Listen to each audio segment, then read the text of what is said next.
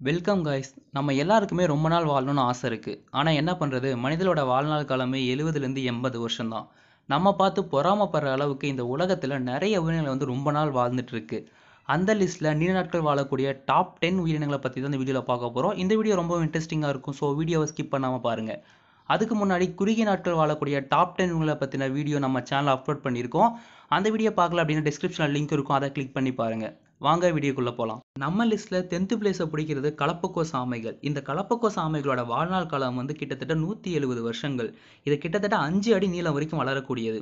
இந்த ஆமைகள் கலப்பக்கோஸ் தீவுகளில் வாழ்றதுனால கலப்பக்கோஸ் ஆமைகள் அப்படின்னு சொல்கிறாங்க உலகத்தில் இருக்கிற ஆமை இனங்களிலே இது ரொம்பவும் பழமையானது அப்படின்னு சொல்கிறாங்க நெக்ஸ்ட் நைன்த் பிளேஸில் இருக்கிற இந்த ஆரஞ்சு ரஃபின்ற மீன்கள்.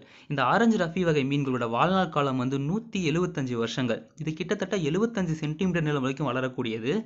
இது அதிகமாக எங்கே வாழுது அப்படின்னா வடகிழக்கு அட்லாண்டிக் ஆஸ்திரேலியா நமீபியா போன்ற இடங்களில் தான் வாழுது.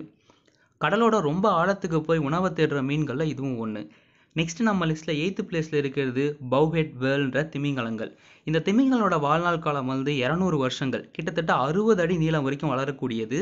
பூமியோட வடக்கு அரைகோள பகுதியில் தான் இந்த வகை திமிங்கலங்கள் வந்து வாழ்ந்துட்டு வருது. இந்த திமிங்கலங்கள் தன்னோட உடல் முழுவதுமாக தண்ணீருக்கு மேலே வர வரைக்கும் இது குதிக்கும்னு சொல்கிறாங்க நெக்ஸ்ட் நம்ம லிஸ்ட்டில் செவன்த் பிளேஸில் இருக்கிறது செங்கட அர்ஷின் அதாவது ரெட் சி அர்ஷின் அப்படின்னு சொல்லுவாங்க. இதோட வாழ்நாள் காலம் வந்து இரநூத்தி பத்து வருஷங்கள். இது கிட்டத்தட்ட இருபது சென்டிமீட்டர் நீளம் வரைக்கும் வளரக்கூடியது. வடகிழக்கு பசிபிக் பெருங்கடலில் தான் இது அதிகமாக இருக்குது மற்ற உயிரினங்கள் மாதிரி இதோட கால்கள் வந்து இருக்காது. இதோட கால்கள் வந்து அதனோட வயிற்றுலேருந்து வளர்ந்துருக்கும். நெக்ஸ்ட்டு நம்ம லிஸ்ட்டில் சிக்ஸ்த் பிளேஸில் இருக்கிறது சிப்பிகள். இந்த சிப்பிகளோட வாழ்நாள் காலம் வந்து இரநூத்தி இருபத்தஞ்சு வருஷங்கள். இது கிட்டத்தட்ட பதினோரு சென்டிமீட்டர் நீளம் வரைக்கும் இருக்கும். இது அதிகமாக வடக்கு அட்லாண்டிக் பகுதியில் தான் காணப்படுது. நெக்ஸ்ட் ஃபிஃப்த் பிளேஸில் இருக்கிறது ஜெயன் டியூப் வார்ம்ன்ற ஒரு புழு. இது வந்து பெரிய குழாய் மாதிரி இருக்கிற ஒரு புழு. இதோட வாழ்நாள் காலம் வந்து இரநூத்தி ஐம்பது வருஷங்கள். கிட்டத்தட்ட எட்டு அடி நீளம் வரைக்கும் வளரக்கூடியது. இவை பசிபிக் பெருங்கடலில் தான் அதிகமாக இருக்குது இது தொடர்ந்து மறுசுழற்சி செய்கிற ஏராளமான நுண்ணிய உயிரினங்கள் வந்து இதோட உடம்புல இருக்குன்னு சொல்கிறாங்க நெக்ஸ்ட் ஃபோர்த்து பிளேஸில் இருக்கிறது கிரீன்லேண்ட் ஷார்க்குன்ற சுறாக்கள். இந்த வகை சுறாக்களோட வாழ்நாள் காலம் வந்து இரநூத்தி எழுபது வருஷங்கள். கிட்டத்தட்ட பதினாறு அடி நீளம் வரைக்கும் வளரக்கூடியது. வடக்கு அட்லாண்டிக்கில் தான் இது அதிகமாக இருக்குது இந்த சுறாக்கள் தான் மிக நீண்ட காலம் வாழும் முதுகெலும்பு உயிரிகள் அப்படின்னு சொல்கிறாங்க நெக்ஸ்ட்டு தேர்ட் பிளேஸில் இருக்கிறது ஜயண்ட் டியூப் ஸ்பாஞ்சின்ற கடல் பாசிகள் இந்த வகை கடல் பாசிகளோட வாழ்நாள் காலம் வந்து ரெண்டாயிரம் வருஷங்கள். இது கிட்டத்தட்ட ஆறு அடி நீளம் வரைக்கும் இருக்கும். இவை வந்து கரேபியன் கடலில் தான் அதிகமாக இருக்குது கடல் பாசிகளுக்கு உறுப்புகள் எதுவும் இல்லைனா கூட அதெல்லாம் சாப்பிடவும் முடியும். இந்த வகை கடல் பாசிகள் இனப்பெருக்கமும் செய்யும். நெக்ஸ்ட்டு செகண்ட் பிளேஸில் இருக்கிறது கோரல் லீஃப் அப்படின்ற பவளப்பாறைகள். இந்த பவளப்பாறைகளோட வாழ்நாள் காலம் வந்து நாலாயிரம் வருஷங்கள். இது கிட்டத்தட்ட ஒன்பது புள்ளி ஏழு கிலோமீட்டர் நீளம் வரைக்கும் இருக்கும்.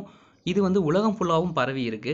பெரிய பவளப்பாறைகளை நம்ம ஸ்பேஸில் இருந்து பார்த்தா கூட தெரியும்னு சொல்கிறாங்க நெக்ஸ்ட்டு நம்ம லிஸ்ட்டில் ஃபஸ்ட்டு பிளேஸை பிடிக்கிறது தரிட்டோப்சிஸ் தார்னி அப்படின்ற ஒரு வகை ஜெல்லி ஃபிஷ் இந்த ஜெல்லி பீஸோட அளவு வந்து ஜீரோ புள்ளி நாலு அஞ்சு சென்டிமீட்டர் நீளம் வரைக்கும் இருக்கும். இதோட வாழ்நாள் காலம் அப்படின்னு பார்த்தா இந்த வகை ஜெல்லி மீன்களுக்கு மரணம் அப்படின்றது ஒன்று இல்லவே இல்லை. இது எல்லாம் நம்புற மாதிரியா இருக்குது அப்படின்னு நீங்கள் கேட்கலாம் இந்த ஜெல்லி ஃபிஷ்ஷோட அழிவில்லாத வாழ்க்கை சுழற்சியை பற்றி தெரிஞ்சுக்கணும் அப்படின்னா ஆல்ரெடி நம்ம சேனலில் அதோட வாழ்க்கை சுழற்சி பற்றின வீடியோ போட்டிருக்கோம். ரொம்ப இன்ட்ரெஸ்டிங்காக இருக்கும். மறக்காமல் பாருங்கள் அந்த வீடியோட லிங்க் வந்து டிஸ்கிரிப்ஷனில் இருக்குது இந்த மாதிரி புதுவிதமான தகவல்களை தெரிஞ்சுக்கணும் அப்படின்னா அந்த வீடியோவை லைக் பண்ணுங்கள் கமெண்ட் பண்ணுங்கள் இது வரைக்கும் நம்ம சேனலை சப்ஸ்கிரைப் பண்ணல அப்படின்னா சப்ஸ்கிரைப் பண்ணிக்கோங்க. அப்படியே அந்த பெல் ஐக்கானையும் கிளிக் பண்ணுங்கள் தேங்க்ஸ் ஃபார் வாட்சிங்